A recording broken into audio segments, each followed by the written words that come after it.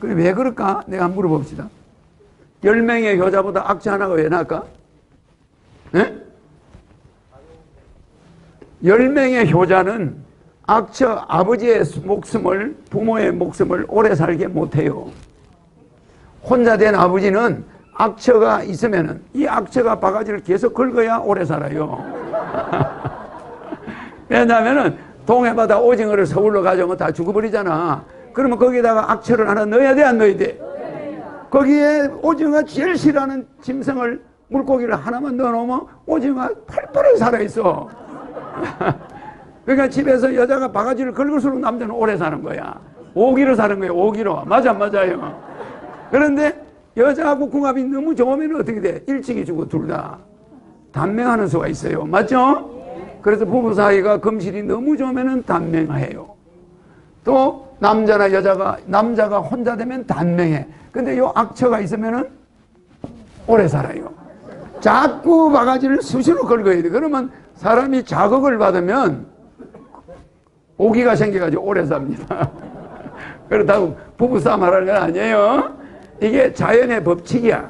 자연의 법칙은 여러분이 자연은 공평한 것 같죠? 안 그래? 잘 봐요. 남자가 여자를 만날 때 이게 평등, 남자와 여자는 일대일로 만나, 안 만나요?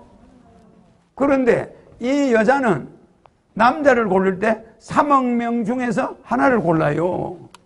그게 자연의 법칙이야. 3억 명의 남자, 여자 중에서 하나를 골라가 자기 남편으로, 자기 자식으로 만들어 안 만들어요? 이 겉으로는 남자, 여자가 하나가 만나지만 속으로는 이 남자의 정자가 3억 개가 나와야 딸내미든 아들이든 하나 얻어 안 얻어요? 그러면 여기서 이게 사람이 왜 이렇게 잔인하게 경쟁을 해서 2억 9,999명을 죽여버리고 그 한 명을 인간으로 태어나게 해줄까? 그게 자연의 법칙이에요. 왜 그럴까요? 강한 사람, 그 3억 명 중에서 하나를 그 난자가 고르는 거야. 막 정자가 오면요. 먼저 난자가 정자를 탁 보고 알아요. 야, 얘한테는 문을 열어줘야 되겠다, 안 열어줘야 되겠다, 딱 알아요. 그래, 안 그래요? 근데 비리비리한 게 오면은 안 열어줘요. 그 3억 마리 중에서 제일 강한 놈만이 난자를 뚫을 수가 있어. 난자 벽이 이렇게 생겨서 난자가 키우면, 그죠? 그러면 정자는 얼마만 하냐면 요만해요. 그래, 그래. 그러면 요 정자 대가리가 이 벽을 뚫으려면 얼마나 약해. 그래, 안 그래요? 그러면 난자를 찾는 데만 해도 엄청나게 힘든데 24시간을 주거든. 이 정자, 난, 난자는 76시간이지만 정자는 24시간밖에 시간이 없어요. 그러면 여기 들어가서 24시간 안에 난간까지 도달하면 거기 난자가 있어. 그럼 난자는 그냥 있나? 이쪽 난자, 이쪽 난간 있고 이렇게 여기 질이 있는데 이쪽 헛다리 짚은 사람이 절반이야. 이러 그러니까 여기서 방향을 잘 봐야 되는 거야. 예. 절반 1억 5천만 마리는 도로를 잘못 들어가는 바람에 거기 가면 난자가 있어 없어. 난간이 두 군데 있는데 여거를 느낌이 괜찮은 놈은 전부 일로 가는 거야. 근데 뭔가 촉이 발달된 놈은 이 난자 있는 쪽으로 갔지.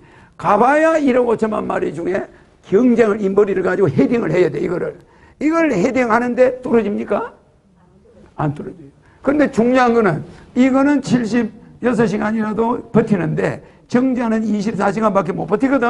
그럼 그때 죽어버려요. 근데 요게 24시간 다 된 놈이 왔을 때 이걸 뚫어 못 뚫어? 못 뚫어요. 그러니까 발사가 된 즉시 가능한 빨리 가야 여기를 뚫을 수가 있는 거야. 여기 헤매고 다니다가 이쪽 갔다가 이쪽 가면 힘 다 빠져가지고 이걸 못 뚫어. 그러니까 이 난자가 정자가 마음에 안 들 때는 안 열어줘. 더 세게 버티는 거예요. 근데 정자가 강력한 놈이 와서 때리면은 느낌이 있잖아. 그래, 그래. 센 놈이 와서 때리거든. 그러면 이걸 딱 열어주면 정자가 뚫고 들어와요. 근데 열어주는데 쎄 때리다가 머리가 이상해가지고 장애아가 나와. 난자가 잘 안 열어주다 보니까 막 히딩을 하다가 장애, 뇌를 다쳐가 장애가 나오죠. 그러니까 우리는 이런 경쟁을 누가 시켜? 하늘이. 맞아, 맞아요. 그러니까 여러분들이 취직시험 힘들다? 거기 비가 나는 사람은 취직할 자격이 없어. 인간의 경쟁은 기껏 해봐야 몇백 대 일이야. 그래, 안 그래요?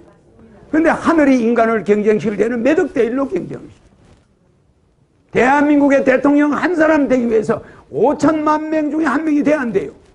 5천만 대 일로 머리 깨지게 경쟁을 해서 올라가는 거예요.